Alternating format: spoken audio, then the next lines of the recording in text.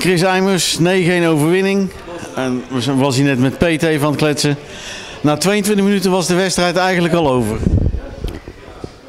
Ja, jij bedoelt denk ik op het moment dat keeper van eh, Leuven een eh, matchpenalty krijgt. Nou ja, dat is, wel een, eh, dat is wel een aderlating voor Leuven. Dat ben ik zeker met je eens. De Haag speelt het gewoon goed uit verder. Dus ik denk dat je daarvan eh, blij om kan zijn. We hebben nog wel eens in het verleden dat we, weet je wel, akkefietjes, de akkefietjes, de powerplay. Maar is vandaag ook weer goed. 1-0, 2-0, powerplay. Tenminste 1-0 en de 2-1. Ja, dat klopt. Powerplay loopt sinds een aantal weken wel prima. We zagen dat natuurlijk ook vorige week terug. Maar ook in de halve finale van de, van de Final Four eh, liep het ook. Bekerfinale. Dus de laatste weken loopt hij beter. En eh, ik denk dat iedereen daar nu op zijn plek staat. Zijn wat, ook wat aanpassingen in gemaakt. En we geven er ook meer aandacht aan. Dus daar ja, mogen we blij mee zijn. Eh, ja, je weet het ook. Het is maar een 1-0. Hè? Want eh, morgen mag je naar Leuven. Leuven uit. Ja, de keeper met de matchplan die Wouter, kijk, eh, eerlijk is eerlijk. Wouter Peters of Kiano. Dat is wel een verschil qua goalie. Dus morgen wordt het gewoon 2-0 voor daar. Ja, niet makkelijk, maar gewoon... Ja, nou ja, ja, wat wil je dat ik daarop zeg?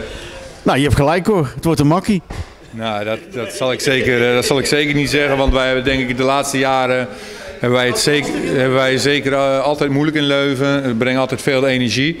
Ik denk eh, alleen wel dat wij ons niveau, als we, wanneer wij ons niveau halen, en ik vind dat wij daar va- vandaag verder van gebleven zijn, dan moet het wel, dan moet het wel klaar zijn in twee wedstrijden. En, en ook, ook wanneer Wouter Peters wel eh, had mogen spelen, zijn wij het betere team.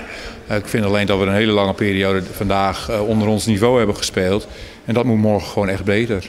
Laten we zeggen, als je het niveau haalt van de bekerfinale en het landskampioenschap, dan mag het in principe geen probleem zijn.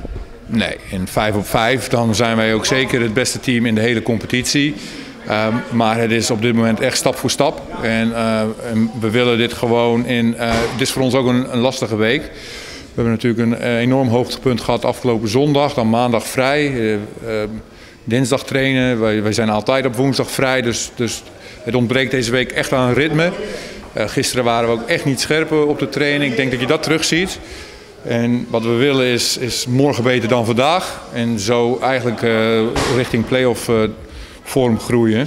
Ehm, dus ja, dat is eigenlijk de wijze waarop we dit nu benaderen. Gefeliciteerd met de overwinning. Succes morgen. En dan zien we elkaar volgend weekend vast weer. Of als het tegenvalt, dinsdagavond. Ja, het is het een of het ander. Geniet van je avond en eh, bedankt Chris.